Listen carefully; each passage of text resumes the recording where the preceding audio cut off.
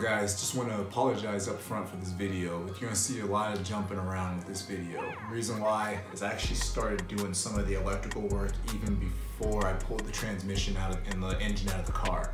So it's going to kind of hop around a little bit, skip around, um, and you may have to kind of pick up the pieces. I'll try to leave little bits and, and uh, little notes here and there to kind of uh, keep you guys on track. But uh, yeah, yeah, this whole electrical thing, it is a mess when uh, when you look at it. I've never really liked doing electrical, but um, you know, paying you know a lot of these other people to do it, it's just it just was not in the budget to do. So I ended up having to do a lot of work myself.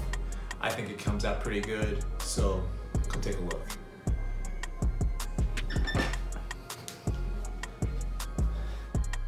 All right, so now I'm inside the car. I need to take the shifter off so that I can uh, pull this motor out with the uh, with the engine and the tranny all at once because it looks like the uh, tranny's leaking as well as the engine's leaking. So I'm gonna need to troubleshoot both of those. Good thing is that the tranny fluid is is clean. So, but it can also be a bad thing. It means one to two things: either uh, uh, the owner took really good care of the tranny, or they tried to fix a problem on the transmission by changing the fluid last minute, which uh, is also a bad thing. So we'll see what how it happens, and I'll uh, I'll show you guys an update uh, shot in a sec. So here I've got the center console off, got the radio out, uh, working on trying to figure out how to get this shifter out so that I can uh, drop the transmission with no problem. Uh, so we'll see how this goes. All right, so funny story. I went through all this to get all this taken apart and come to find out that the shifter is not connected down there. There's only one bolt connecting it underneath the car. I mean, it's uh, it's good because uh, I was planning to clean this up anyways, put an aftermarket stereo in, so I had to do this at some point, but uh, yeah, it uh, didn't need to be done right right now. As far as that bolt that needed to be replaced, see if I can squeeze under here.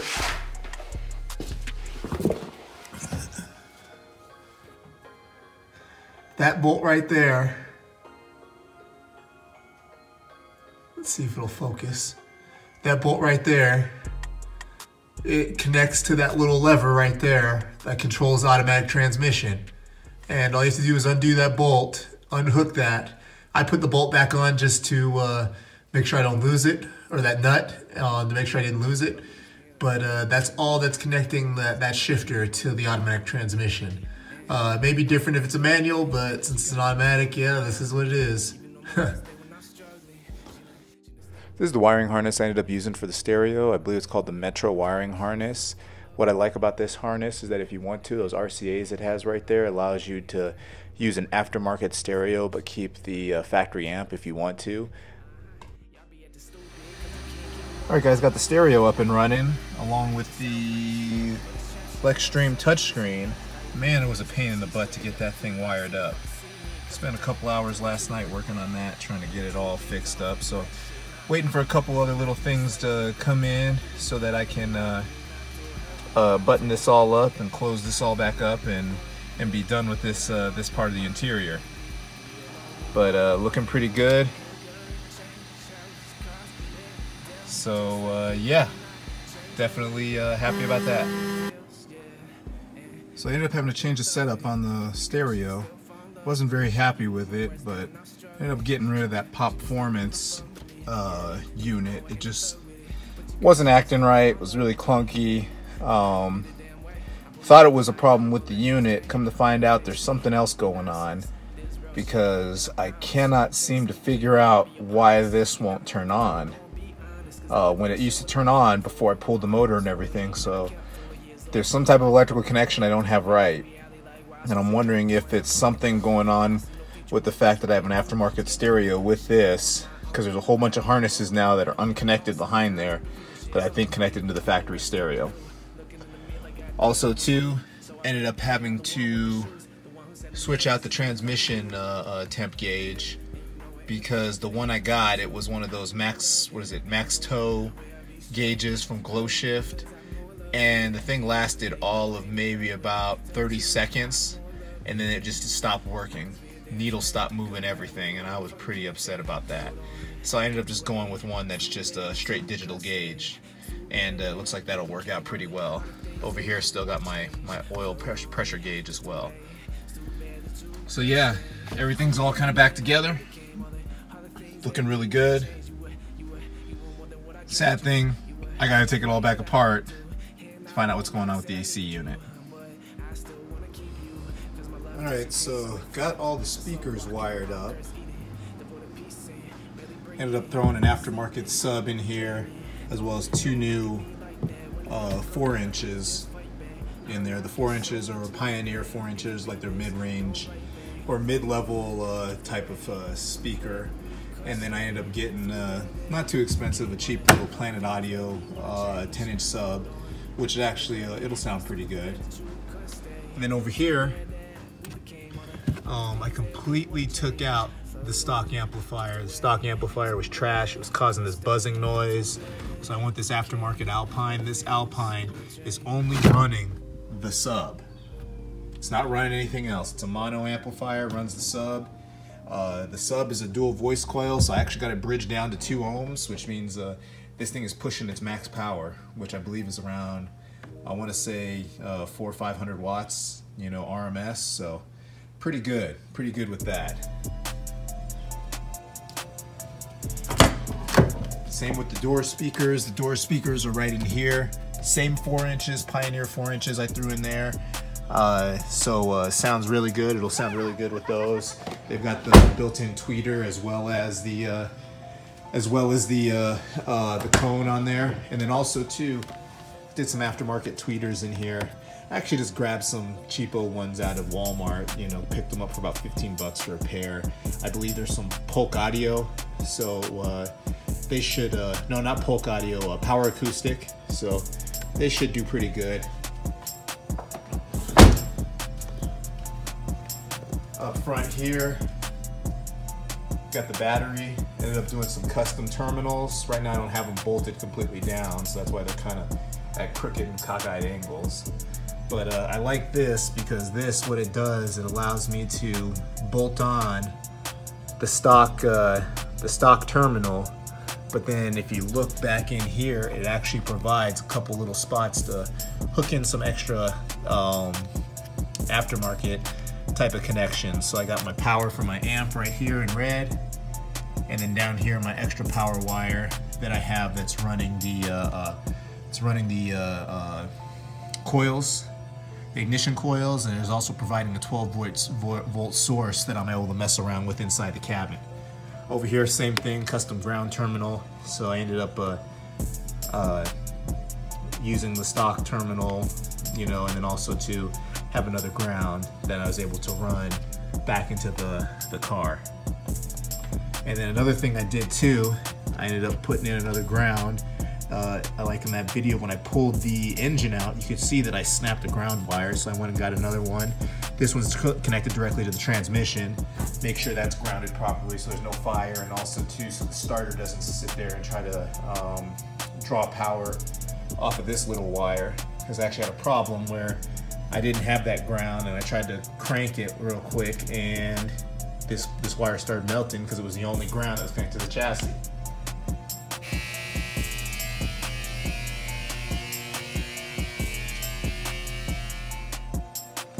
So took everything apart, put it all back together. Got everything to sit real nice. Figured out what the problem with the temperature control gauge was, the climate control gauge. There's something called a noise filter. And there's a little two pin plug back there that has some little module that uh, I unplugged, threw in a box, and not knowing that that goes to the ignition power source for the uh, climate control. So found that, plugged it back in, thing just fired right back up, lit right back up like it's supposed to. So make sure you keep track of whatever you uh, you take out of the car. Um, so you make sure you put it back in. Now, you look here, everything turns on. Let's see here, actually the climate control Sorry for the glare. Actually going to the climate control. Everything works. Can turn it up, change it from recirculate to outside air. Probably can't see these too well because of the glare, but this is the front and rear defrosters. That's the AC. Know, whether you wanted to hit your top vents, top and leg, leg, or leg and defroster, uh, as far as window defroster. This knob right here controls the temp, turns it up and down, and then if you ever just want to turn it off, you just press that, cuts the power. Stereo down here works like it should. Now with this stereo, what I ended up doing is I ended up taking out the factory amp and I took the uh, the power wires from this and I ran them all the way to the trunk because that's where all the amp connections are so that uh, I could remove the amp completely. The stock amp is completely gone. So all I have is the, the one Alpine amp that's now running the sub, as well as the other Alpine, or as, as well as this that's running the uh, uh, the, the interior speakers. And uh, what I ended up doing, what I ended up doing, again, sorry for the glare,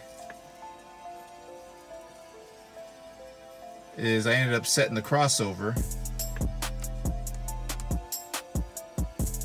oh, since I don't have any music on, it's not going to play anything.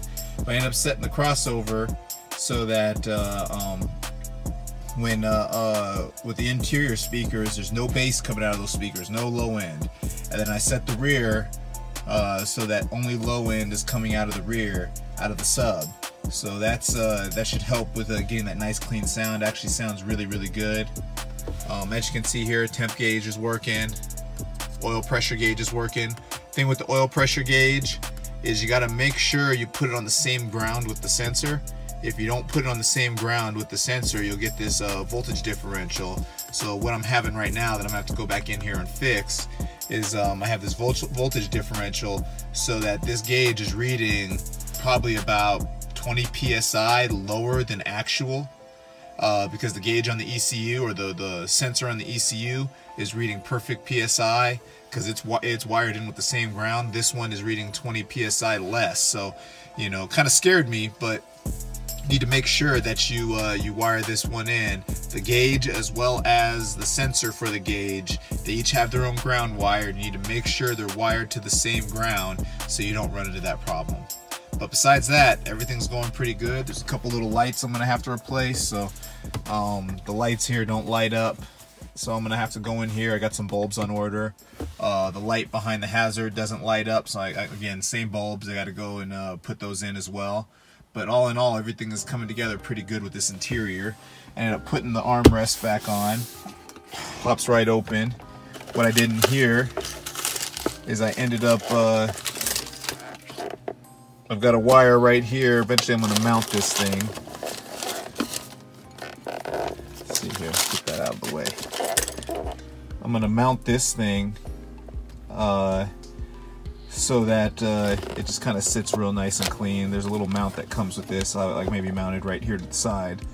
Um, but all my uh, my aux connection as well as my USB connection to the deck are, are off of this connection. And then this other connector down here is uh, is for my uh, aftermarket gauge up here.